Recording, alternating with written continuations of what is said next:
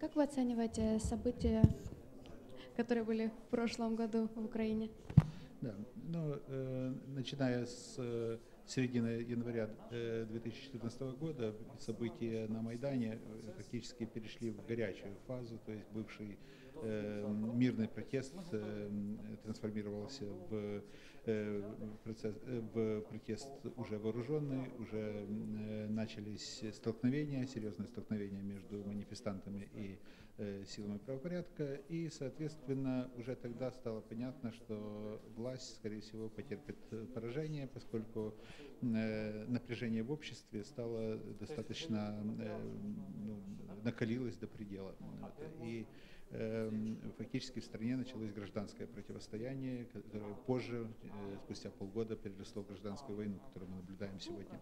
Что касается э, тех событий, очевидно, что именно тогда, уже в январе месяце, можно было говорить о финальной, финальном акте э, Януковича, о финальной драме Януковича. И, наверное, в, то, в то же время стоило, стоит говорить именно о том, что Украина столкнулась тогда уже с абсолютно новым Майданом. Если в 2004 году и в самом начале 2000, э, Майдана 2013-2014 года были э, в основном мирные, демонстрировались мирные формы протеста, то э, Украина впервые столкнулась именно с э, такой ожесточенной формой гражданского протеста, и стало э, понятно, что э, уже старой Украины, прошлой Украины, Украины мирной, Украины спокойной больше не будет.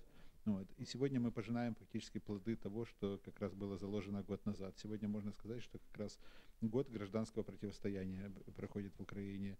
Вот. э, он, э, Это гражданское противостояние еще не завершилось, и оно, очевидно, будет еще продолжаться некоторое время.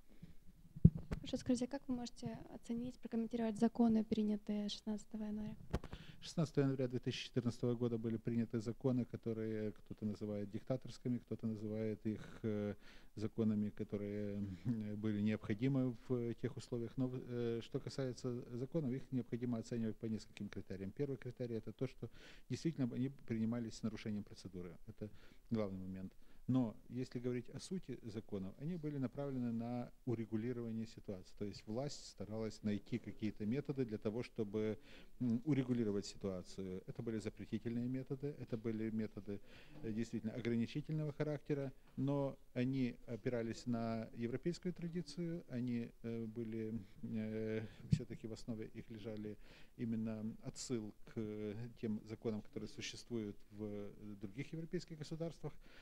Однако, учитывая то, что в стране в то время э, были события, вошедшие в историю, как Майдан, э, фактически почти революционные события, то любое ужесточение со стороны власти воспринималось, естественно, неоднозначно и было воспринято в штыки. То есть э, власть фактически э, вызвала огонь на себя, вызвала еще большее раздражение, и фактически эти законы стали катализатором дальнейших, дальнейшего противостояния. Хорошо, спасибо.